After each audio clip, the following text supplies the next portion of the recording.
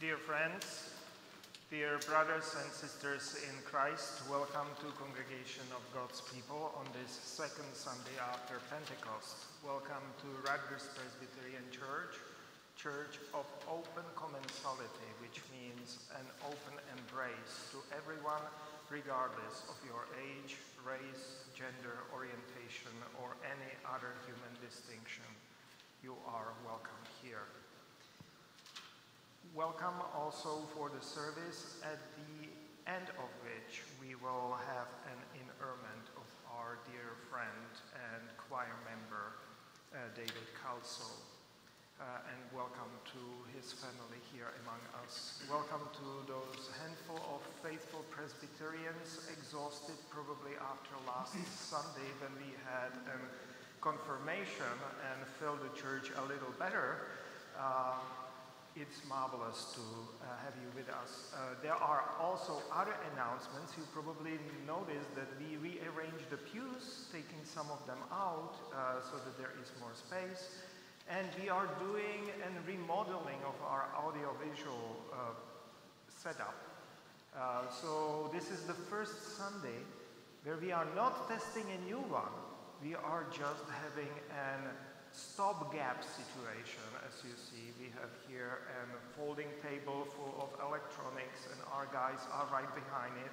Uh, I'm not speaking through the speakers, I don't think. I'm actually speaking only through this uh, and, and so on and so forth. You see all those hanging wires here and so on.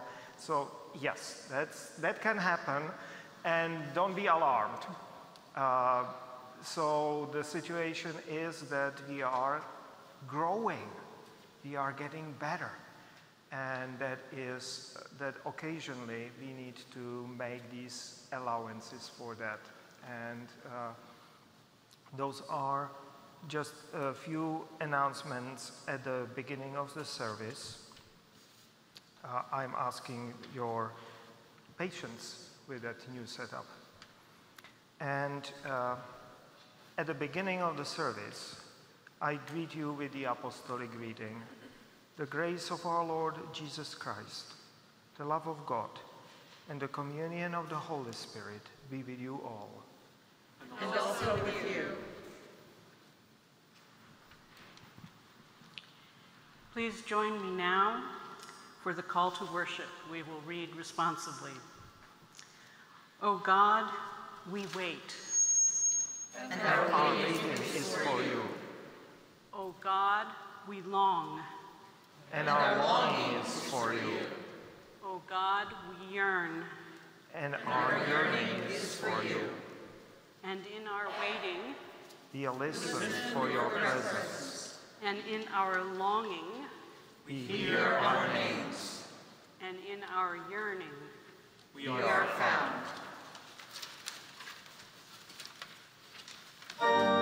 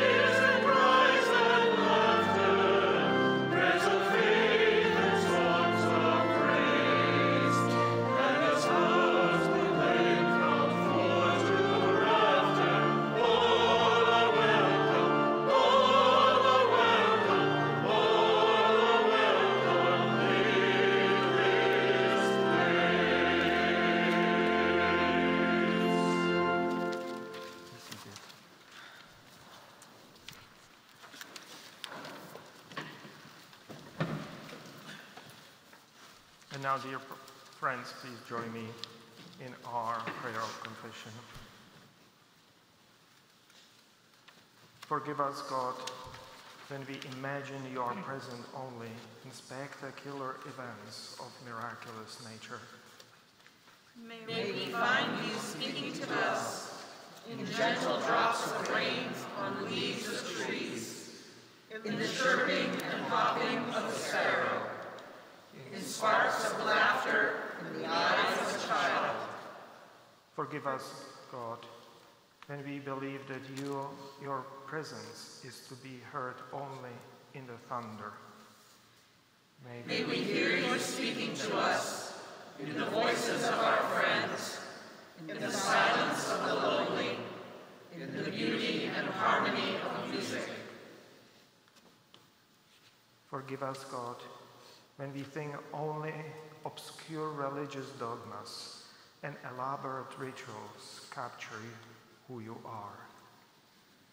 May, we be willing to find you in relationships of mutual love, in care for tiny creatures and grand oceans, in the work for harmony and justice.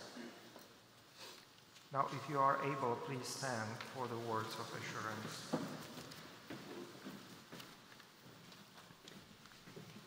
Hear the words of assurance. Live the fullness of life each day. Opening our eyes to God's loving presence. Love boldly in the everyday. Finding God in the heart of justice. Listen in the world. Hearing assurance of forgiveness.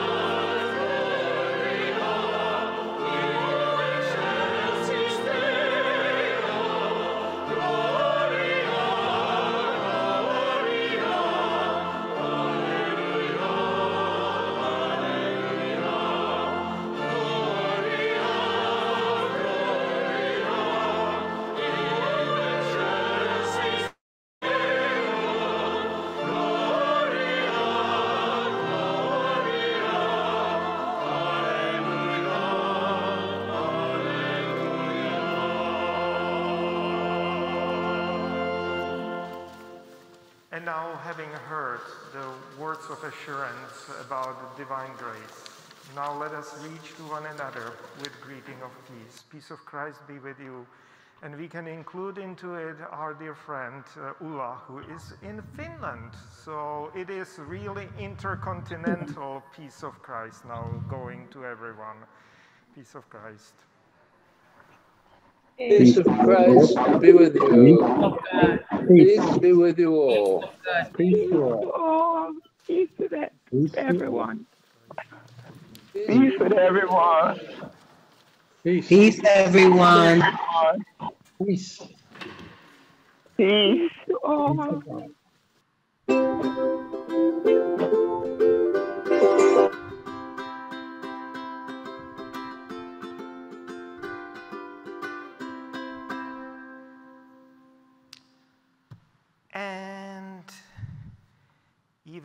I don't see any children here, we still do the children message.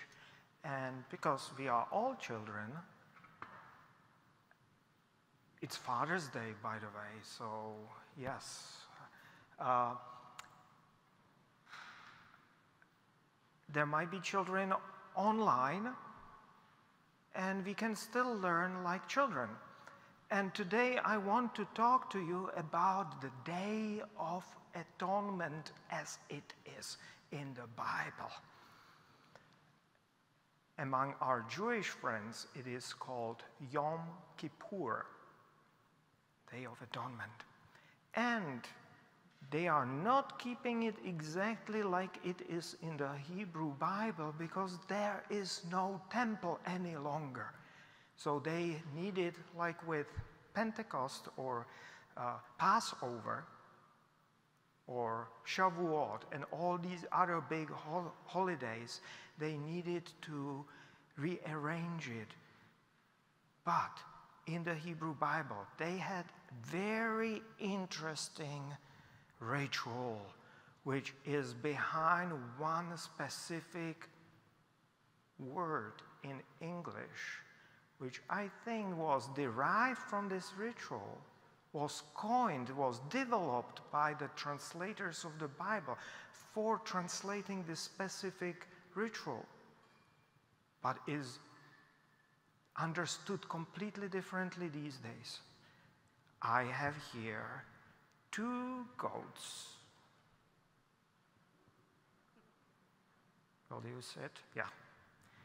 And here is another goat. And now we will have and one is to be offered to the Lord as a sacrifice, and one is to be offered to Azazel, which was like a demon of the desert or wild places. And we need to have a lottery for that. Because there has to be a lot cast between these two who is going for whom. You know, don't be deceived by the color. You, know, like this going to Azazel and white going to, no, no, no, no, no, no, no. There needs to be an, and I'm looking, I pre-arranged with Christine, but I will actually go down to aisle. I'll, I'll try to have in, invite, pull in the congregation into it. And I have here stones. That, that was the way they did the casting of the lots in the Bible. One is Urim, most likely the white one, and Thummim, the dark one. And I will ask someone to draw the, draw the lot for this one, goat. And I'm going to have these. Normally, I should have an ephod, but I'm not a priest of Hebrew order. That it'll be like a big pocket on a chest.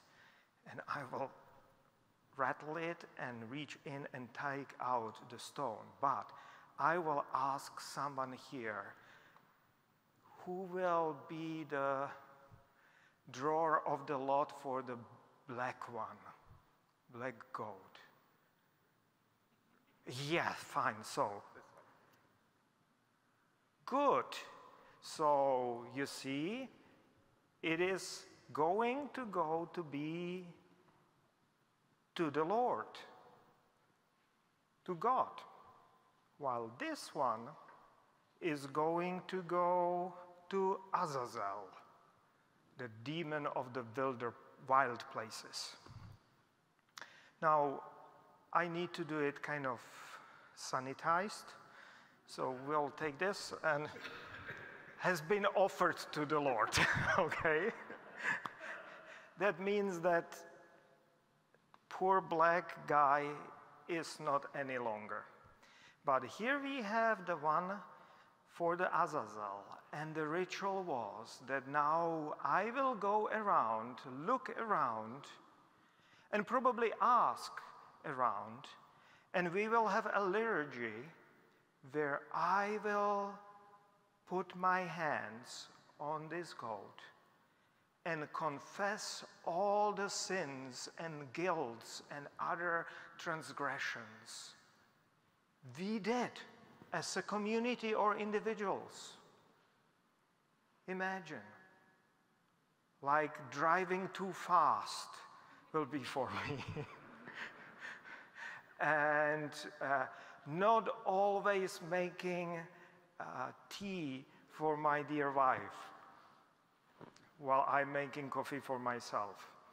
And uh, those are jokes, but there are serious offenses I committed, and I'm not going to share them with you, like you are not sharing with me yours right now.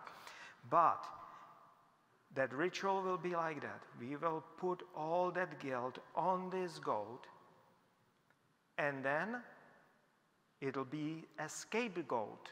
That's the name of scapegoat And what we all do with that scapegoat, what do you hear in it? A scapegoat. A scapegoat. It'll be driven out. It'll actually live. In the wilderness, you know, we'll have to be clever, but on the other hand, that is that kind of very interesting thing with scapegoats in the Bible. Scapegoats in the Bible, they survive and they carry that burden of guilt with them. But the community, the dwelling places, all of that is taken away from the dwelling places and from the community. And that is the reason for scapegoats. We all keep scapegoat here. But it was like a reminder that we don't offer our guilts to God, but we have them removed. Oh, sorry, sorry, sorry. Oh, good. They are driven away. I, I can move it further, like here.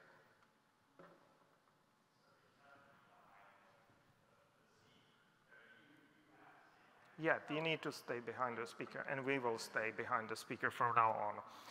Uh, so here is the scapegoat which is carrying away the guilt. They are not offered, they are purged that way, away from habitable areas. And that is a reminder that we need to confess, we need to fast, we need to set up the proper behaviors among ourselves so that we can live in harmony. And that is the meaning of that ritual. And to a large extent is practiced in Yom Kippur, which is the time when people come to themselves, think of their guilt, think of the way they can fix it, reach out to their neighbors, friends, or enemies, and set the scores right, being reminded not any longer by physical goat, but being reminded by that ancient ritual of scapegoat. And with that, let us have a prayer. Gracious Lord, thank you for reminding us that we carry the baggage on our shoulders of our misdeeds and mistakes and sins and that there is a reason to confess and to amend, to change, and to ask pardon.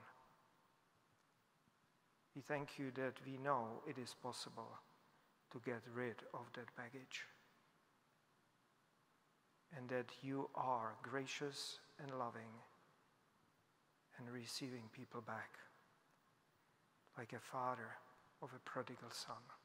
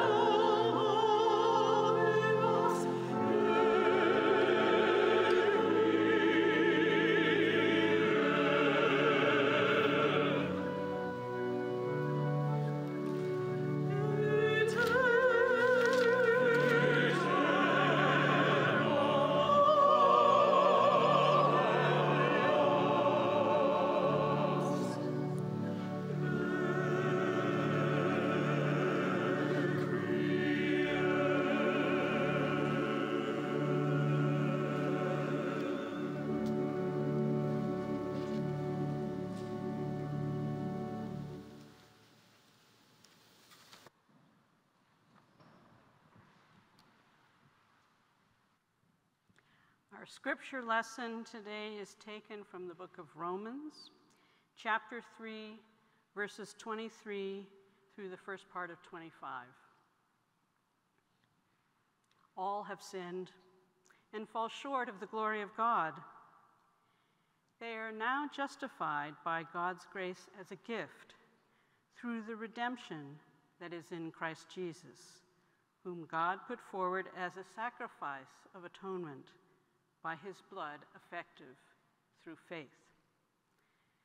So ends the reading from the living word.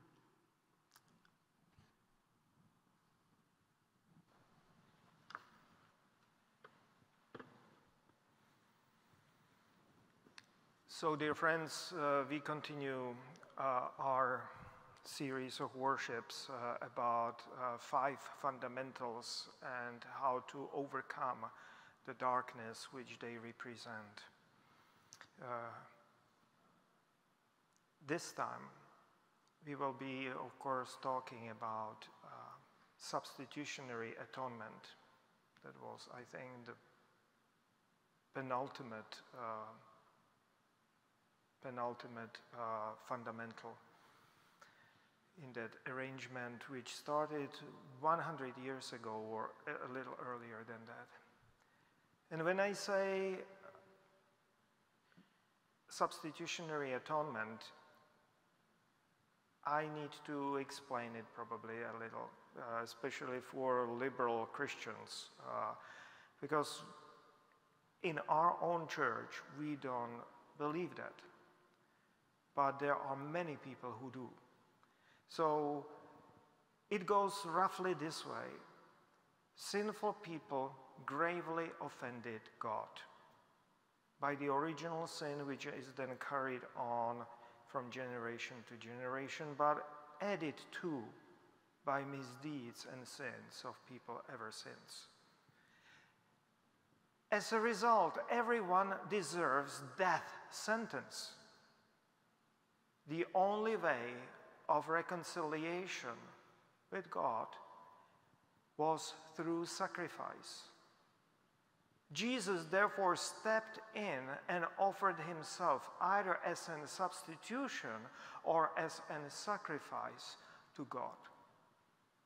Thus, in Jesus' death, in his blood, divine wrath was satisfied and sinful people were reconciled to God. And dear friends, let me say right away that this is, when you think about it, and we'll think about it in a moment, this is quite atrociously bad theology. And theology here, I mean teaching about God. John Dominic Crossan, an American theologian, calls it a crime against divinity, a criminal slander of God. It is utterly unbiblical and betrays grave misunderstanding of ancient and modern concepts of sacrifice. And above it all, it is dangerous for our own spiritual, psychological, and communal well being. It is so widespread and so thoroughly bad that it is difficult to even know where to start. And I'll have to kind of focus on three aspects of it. First, I will try to show and also show what might be an alternative, but to show that it is a crime against God. Secondly, that it is not biblical. And thirdly, it is indeed quite dangerous. And we will start with this crime against God. As much as it seems this uh, substitutionary atonement that Jesus, uh, Jesus' blood paid for our sins, ubiquitous in church and in a society, the way society views Christians. In a church, just open even our new modern hymnal, and they try their best to kind of weed it out, but it is almost impossible And that is the constant struggle because some hymns are just steeped in this theology. Or devotionals, daily readings, and so on. Very often it sneaks in. And it is present even in the secular society, in encyclopedias. We claim like this, and I'm here quoting uh, that this substitutionary atonement is a central concept within Christian theology. Just give me a break. You know how they are again like under that spell of conservative Christianity and applying it to all Christians. In fact, as much as it seems to be there for, from ever, this doctrine is a relative newcomer. And here I have to speak as an European. Uh, from American perspective, it's ancient, okay? But no, it's not ancient, it's medieval. Uh, I know that medieval sounds for Americans like really ancient, but it's not. Uh, it goes back to dark ages and feudal worldview. And big guy in this theory or in this ideology or in this theology was Anselm of Canterbury. And it is perfectly distilled in his book Cur Deus Homo, Why God Became Human. He lived in 11th century. And that is where this was really fully formed. Jesus' death on the cross was absolutely necessary because there was no other way in which sinful people could have been reconciled with God. God's righteousness was offended by human sin and demanded satisfaction. Sin could not be simply forgiven because that would undermine the divine honor and divine order in the world. Someone had to die for it. And that someone ended up of being Jesus, perfect substitute because he was both human and divine. This is completely informed if you paid attention to the, this rephrasing by Anselm of Canterbury. It is completely informed by feudal worldview. There is this offense, demand of satisfaction. There is behind the logic of hierarchy, honor, and order. In this doctrine, God is like a supreme feudal lord, demanding satisfaction like some offended, bloodthirsty tyrant come what may, and come from wherever it may. Yes, in the Bible, you come across God being sometimes angry or punishing. But in this medieval dogma, it is made into the central feature. God vindictive, blood, bloodthirsty, feudal monster, unwilling or unable even, if followed really, to forgive, unable to forgive. It is a build on the logic of collective guilt also, something we abandoned, I, one would hope, long time ago. And mechanical punishment. The offense must be punished no matter who pays for it, whether guilty or innocent. Friends, that is a good reason there why that period of human history was called Dark Ages. This is the theological and religious manifestation of it. And it's a great shame to realize how popular it is still among some Christians and in America. I really never understood. This was born in a scholastic period of Catholicism. How could it be so popular among American Protestants? it is also unchristian. Don't we hear about God be, being the love manifest? God is love, and who dwells in love dwells in God, and God in him, quoting John's theology. About God loving us unconditionally like mother in, from Isaiah. About a prodigal son being welcomed and forgiven without reservation.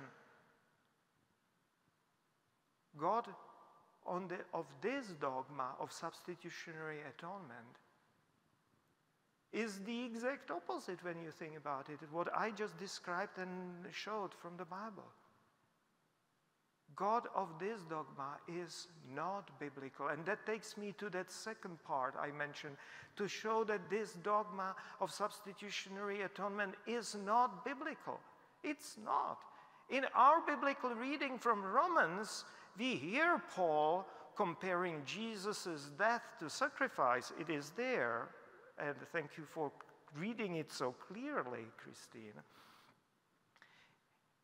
It is one passage about of other five sprinkled through the New Testament, which are used to support this substitutionary atonement and sacrifice of Christ. On the surface, it sounds like that.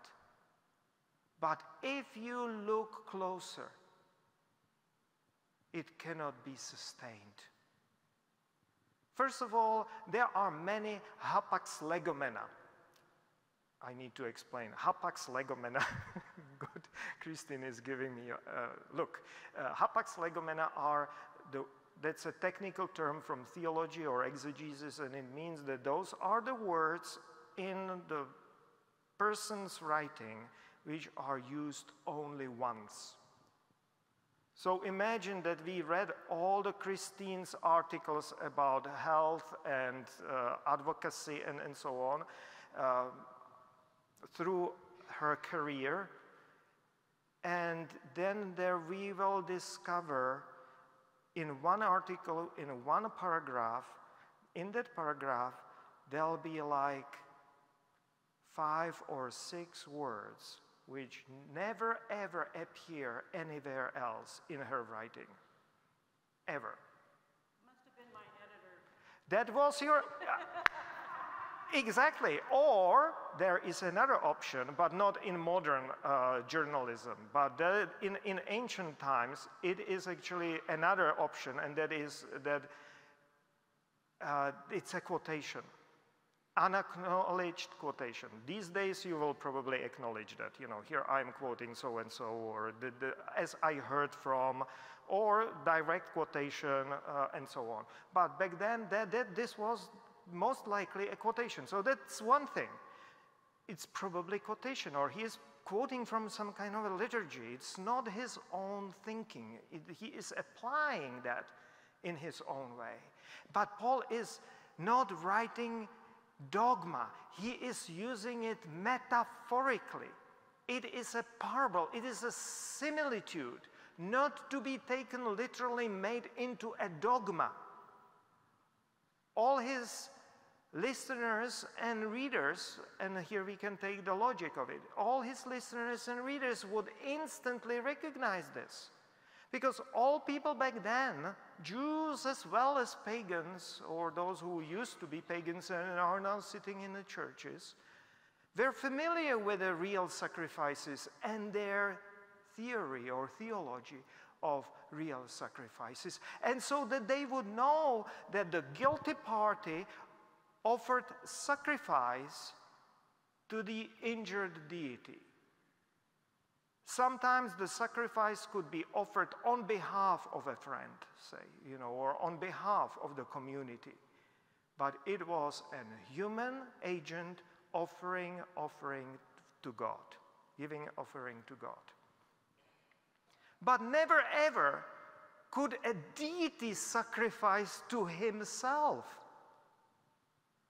And even among the polytheists, and that's part of my academic background, uh, ancient uh, polytheistic religions, even among the polytheists, when deities are giving each other something, those are not sacrifices, those are gifts, never sacrifices. God does not sacrifice his son to himself, putting aside human sacrifice, which was taboo, you know, and nothing to be touched for centuries by that time. People knew it could not be taken literally, therefore. They knew this is an similitude, this is a metaphor, this is a parable. And our passage from Romans is quite instructive here with that. Its vocabulary is from sacrifices. It is using Greek words for sacrifices, but the meanings of those words all point towards something else. That is that, that Paul probably picked up this particular quotation, most likely, because it was filled with these words which were pointing towards divine mercy, towards divine forgiveness, towards release of slaves from bondage or people from their sins. They showed that the law was abandoned with preference for forgiveness and for healed relationships. Here I had one page of that uh, list of the English translation, Greek word, and then explaining why it is so. I will spare you that. That is actually the meaning of English word for atonement, what we just described. It was coined when they were translating King James Version. And at one meant, it means being in harmony. Atonement is at one meant. At one meant. Atonement. It's collided, collapsed this way. Restoring relationship, community between humans and between humans and God. The sacrifice is a parable pointing towards the liberation of slaves and healing of relationships.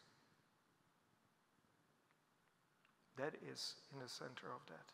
And now you see how different it is from this substitutionary atonement, where there is this dark deity demanding satisfaction. Finally, this dogma of substitutionary atonement is inhumane and dangerous for all of us.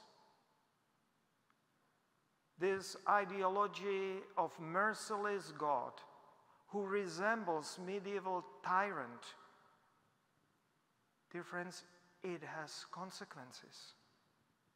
Minds infected with the medieval dogma also gravitate towards medieval dark age solutions to troubles in a society.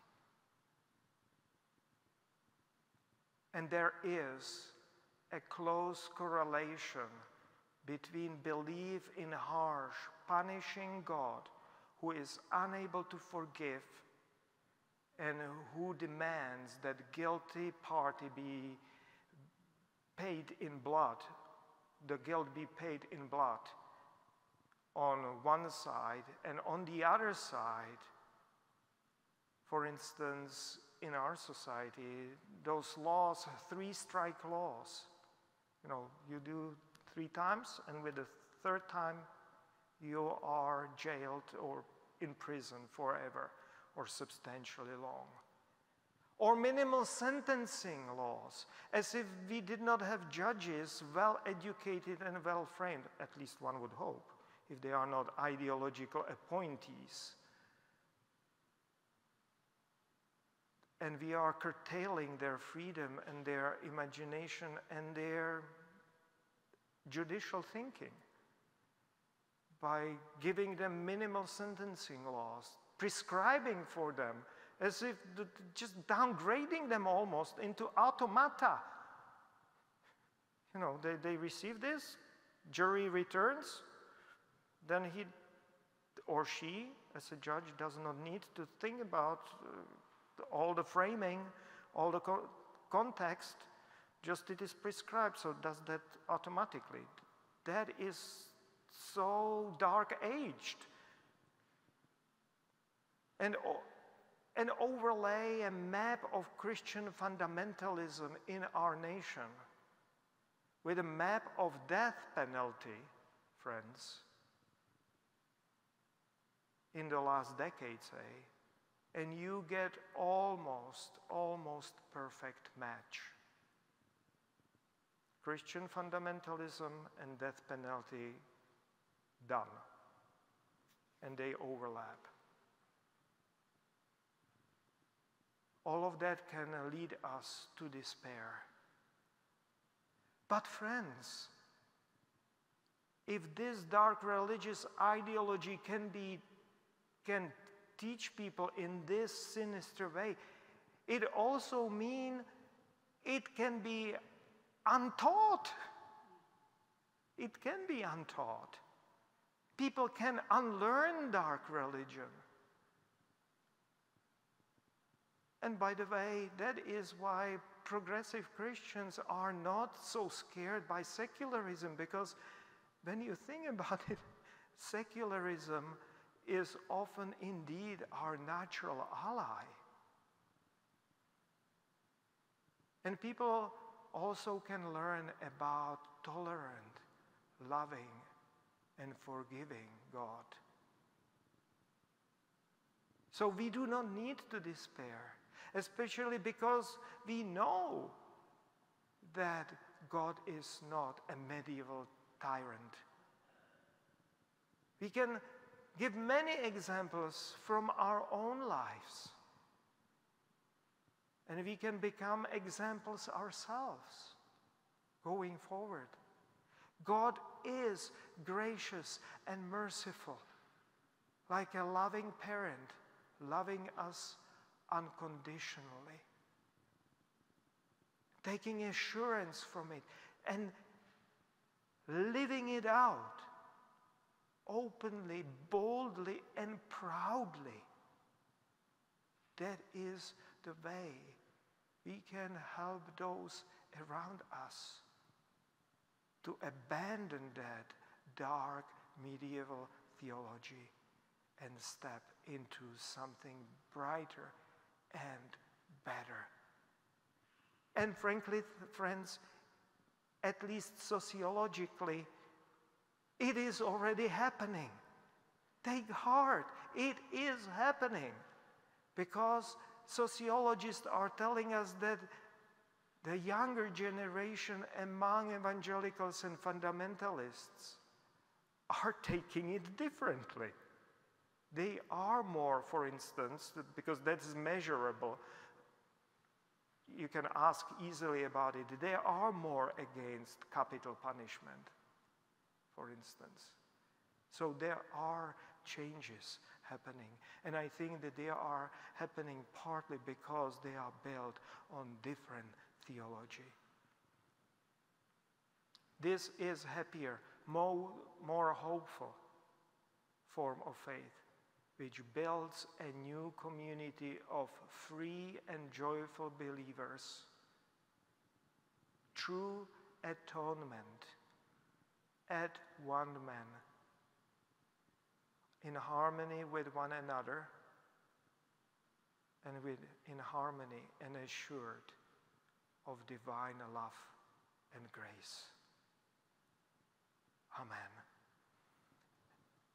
And now I will ask you if you are able to stand for affirmation of faith, which is taken from Confession of the Presbyterian Church of 1967.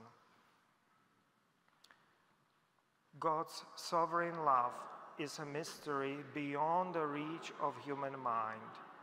Human thought ascribes to God superlatives of power, wisdom, and goodness, But God reveals divine love in Jesus Christ by showing power in the form of a servant, wisdom in the folly of the cross, and goodness in receiving sinful people. The power of God's love in Christ to transform the world discloses that the Redeemer is the Lord and Creator who made all things to serve the purpose of God's divine love.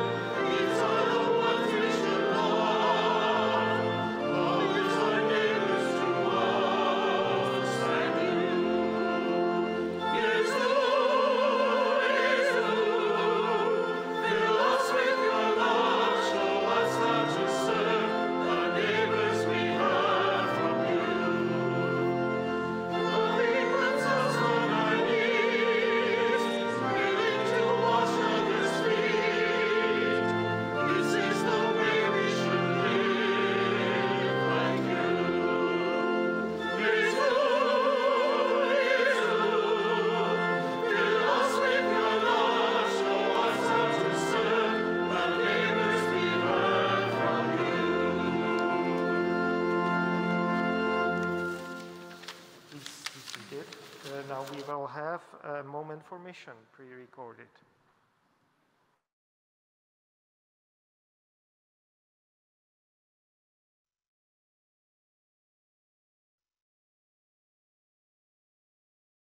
Hi, my name is Jackie Shornstein Capilouto, and I'm a philanthropy officer at Planned Parenthood Federation of America. Thank you so much for this opportunity to share what's happening in the fight for reproductive health care and abortion access. The fight for reproductive freedom is at a moment of crisis the U.S. Supreme Court is poised to overturn the federal protections of Roe v. Wade. The consequences of this decision will be swift and devastating for patients seeking essential healthcare nationwide. 26 states will quickly move to ban abortion, including 13 states with trigger laws that could go into effect shortly following the decision, if not immediately. 36 million women, nearly half of the women of reproductive age in the United States, and more people who can become pregnant, could soon lose access to abortion in their state. We've already seen a preview of this impact on patients and providers in Texas and now in Oklahoma. Even people in states with protections for abortion will face overextended health centers and staff who are facing a surge of out of state patients. Roe v. Wade being overturned and the decades long campaign to undermine it is and will be felt disproportionately by Black and Indigenous people, communities of color, undocumented people, people living with low incomes, and people in rural areas, communities who have long faced barriers to abortion access due to systemic barriers and discrimination. In the midst of this crisis moment, Planned Parenthood and our partners are prepared to fight back. We will think bigger and bolder to build the world we want, in which everyone can access the care they need, no matter what. We have been preparing for this moment for many years. As our reproductive justice allies have taught us, Roe's protections were never enough. They were the floor, not the ceiling abortion access has been out of reach for far too many people. We are working to build a healthcare infrastructure that is grounded in equity, that centers the people who are most marginalized by systemic racism, and aims to ensure they have access to abortion care. We know that when we focus on removing obstacles for those who face the greatest barriers to healthcare, we all will benefit. To meet the immediate needs of patients, PPFA is working in deep partnership with Planned Parenthood affiliates, partner organizations across the country, and the Biden Harris administration to think creatively and provide critical resources to ensure access to care, even if it means crossing state lines. We have prepared to meet the moment in a number of ways, including supporting our Planned Parenthood affiliates, patient navigator programs, and patient assistance funds, who work closely with patients to find and schedule an appointment, as well as help secure funding for travel, lodging, and care as needed. Increasing access to telehealth and telemedicine abortion, assisting Planned Parenthood affiliates that are working to build or expand health centers close to state borders and airports, and assessing the feasibility of mobile vans to deliver care working to license abortion providers in multiple states, and advertising critical patient reassurance information and education, making it clear that patients can still contact us for help, and making sure that they understand there are clear and legal paths to abortion care in other states. On the legal side, Planned Parenthood is exploring where we can file challenges to restrictive laws in state court and using state constitutions as the basis for protecting our right to abortion. I know this is a lot of information, and you might be asking yourself what you can do at this moment.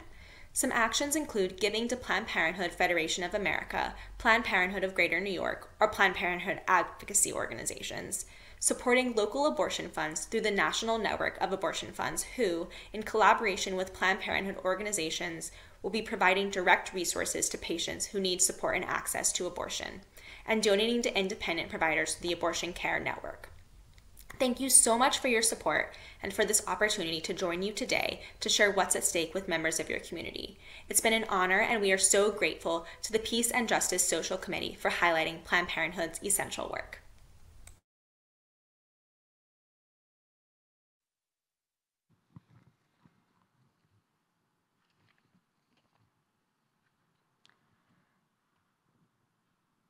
And now I uh, invite you to partake in the presentation of tithes and offerings. If you would like to make a contribution to Rutgers Presbyterian Church, please consider mailing in a check to the church office, or if you prefer to pay online, please consult the instructions found in our weekly emails or the PDF of the bulletin.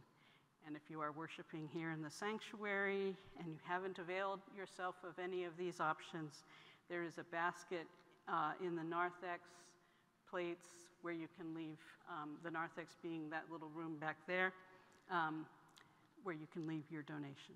Thank you.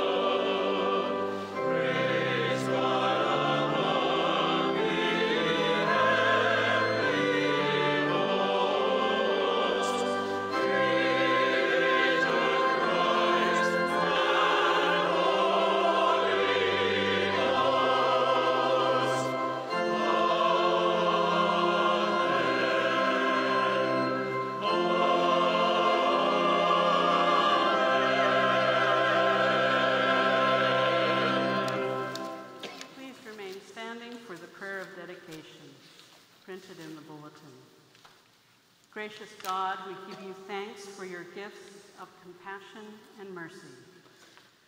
Now we offer our gifts, gifts of time, talent, effort, and treasure. Our gifts are not flashy or perfect, but the gifts that we pray may reflect your compassion and mercy to a hurting world. Amen.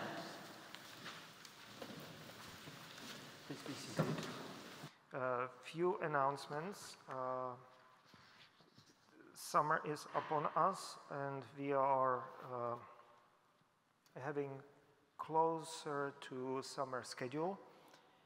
Uh, but Today after service, roughly around 12.30, either in the session room or on Zoom, the same Zoom link like it is uh, for worship, we will have a theological discussion or discussion about the politics and all of that like we used to have when we were completely online. And so please feel free to either join me in the session room or uh, stay on Zoom for that if you are. It's in place of a Bible class which we discontinu discontinued for summer. Uh, on Tuesday, there is a resistance bureau at 6 o'clock, and on Thursday, uh, our meal program at 6 o'clock here, where we are serving about 90 meals. Uh, next Sunday, uh, there are choir rehearsal and change Sunday school for at least summer will be meeting at 10 o'clock. So Sunday school from next Sunday will be at 10 o'clock, both in person on in the session room again or on Zoom. Please note we are returning to 10 o'clock. Worship will be again Pride Sunday service at 11 o'clock uh, on Zoom, live stream, and in person and again theological discussion afterwards uh, in the session room and on Zoom. Now we proceed to intercessory prayers, our intercessions.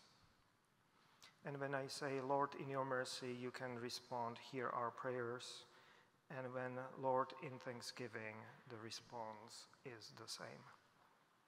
Let us be in prayer.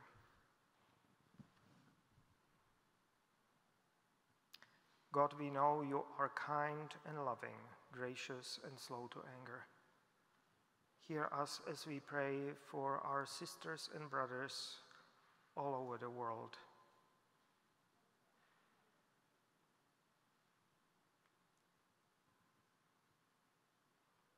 Lord, in your mercy, hear our prayers. We pray for those we know who are suffering in heart, mind, body, and spirit. We pray for those who are near to us and are homebound. And we pray also for those who are distant. We pray for continuous healing, for our friend Denise. We pray for Albert Kimborough. We pray for all those who are recovering from surgeries or preparing for some. Lord, in your mercy, hear our prayers.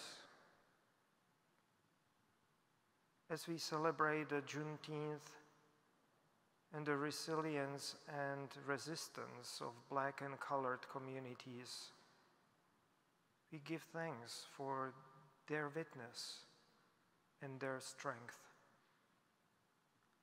Lord, in thanksgiving, hear our prayers. We also remember that it took year, years from Emancipation Proclamation till Juneteenth in some parts of this nation, and even three months from the end of Civil War until Juneteenth, and another year until it was sealed in Constitution. That's a source of shame also. And so we pray, Lord, in your mercy, hear our prayers. We pray for the nature. We pray for the climate suffering from our selfishness and pollution. We pray for all those struck by the disasters around the world. Lord, in your mercy, hear our prayers. We pray for our leaders that they may act wisely. Lord, in your mercy, hear our prayers. We ask your presence to be in all the places around the world where there is a conflict and war. Remembering first Ukraine, then Sri Lanka, Myanmar, the western part of China, all other places where people are oppressed for their belief, for their faith, their religion, for their race, or any other way. We ask, Lord, in your mercy, hear our prayers. We pray for ourselves and our needs, that we too might seek wisdom and follow your leading in reaching out, finding, and harmony with our friends and enemies. Lord, in your mercy, hear our prayers. We are giving thanks for our fathers and grandfathers today and for all fatherly figures in our lives. For many of us, they were true loving caregivers. Lord, in thanksgiving, hear our prayers. May we open ourselves to atonement, being in harmony with one another in our community and with you, our God, today, tomorrow, and in the days to come. God is here among us, and we give thanks to God for that. Lord, in thanksgiving, hear our prayers. And now together we say the prayer God, heart of the world, revealed through the every aspect of creation, understood through our awareness. May we honor the holiness of creation and act accordingly, so that your love is reflected in the way we live. May we always be thankful for the food we eat and the friends we have. May we forgive those who have hurt us and be forgiven for the hurts we have given. In the freedom of love, may we live as your heartbeat and not be compromised by hesitation. Through our freedom, may your justice be seen and heard and experienced now and forever. Amen.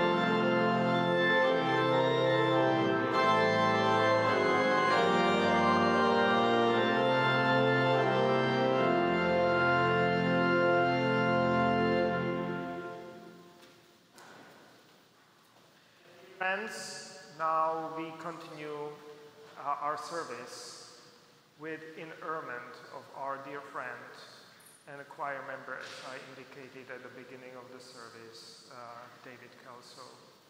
And uh, for that, uh, here are first scripture sentences from John, where Jesus says, I am the resurrection and the life.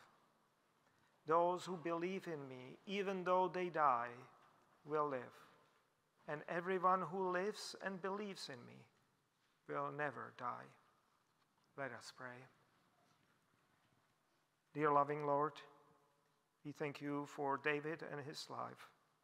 We thank you for the gift he shared with us his life, his talent, his music always larger than life.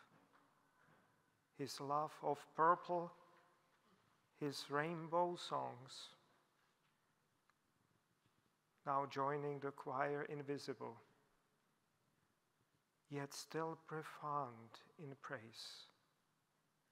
May he now find rest in your loving embrace as his remains will stay here in this church. Amen. Now, in a sure and certain hope of the resurrection to eternal life through our Lord Jesus Christ, we commend to Almighty God our brother David, and we commit his ashes to their resting place.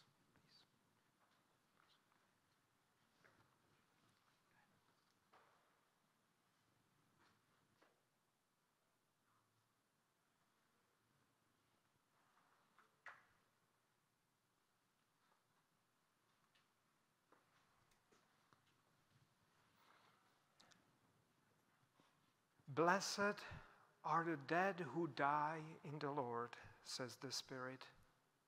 They rest from their labors, and their works follow them. And now, dear friends, let us all here appropriate, that means take within you and take with you to your ongoing days the Lord's blessing. The Lord bless you and keep you. The Lord smile on you and be gracious to you. The Lord shower you with favor and give you peace. Hallelujah. Hallelujah. Amen.